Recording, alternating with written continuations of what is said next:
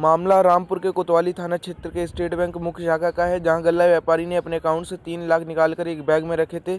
तभी उसको एक फ़ोन आता है, गल्ला व्यापारी बैंक में पैसे रखकर फ़ोन पर बात करने लगता है और इधर इधर घूमने लगता है। जिसके बाद पास ही खड़े एक बच्चे ने पूरा नज़ारा भांप लिया और मौका पाकर पैसों से भरा बैग लेकर रफू चक्कर हो गया। हैरत की बात तो यह है कि दिन दहाड़े हुई इस लूट में पुलिस की मौजूदगी के बाद भी पुलिस के हाथ खाली रह गए। वहीं पूरा मामला सीसीटीवी में कैद हो गया। मामले की जानकारी देते हुए सी ओ सी टी ओ पी आर्य ने कहा कि प्रथम दृष्टि से सीसीटीवी फुटेज में बच्चे पैसे ले जाते हुए दिखाई दे रहा है। फुटेज के आधार पर जाँच शुरू कर दी गई है। बैंक से छोटे भाई ने रुपए निकाले थे। और वही बैंक में वो एक जने से फ़ोन पे बात कर रहे थे तीर में थैला लेके चला गया लड़का। सीसी फुटेज में उसका फ़ोटो पूरा क्लियर आ रहा है। दस बारह साल का लड़का। तीन लाख।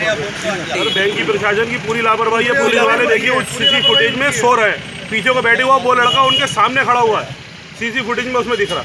तहरीर देने जा रहे हैं उसमें। वो वहीं पे खड़े हुए सामने और उनके पीछे को बैठे हुए और वहीं पे खड़ा होकर वो काउंटर पे खड़ा हुआ था। हर समय रेजगारी रुपए देते हैं छोटे छोटे रुपए देते हैं यहाँ पे हर समय जिससे आदमी को सामने से दिखते हैं कि ज़्यादा रुपए। मेरा नाम विपुल। अभी थाना कोतवाली क्षेत्र से पता चला था कि स्टेट बैंक की मेन ब्रांच में किसी व्यापारी का एक बैग में रखा हुआ पैसा मिस हो गया। तो उसी संबंध में मैं यहाँ स्टेट बैंक में आया था तो उसकी फुटेज वगैरह खंगाली गई है।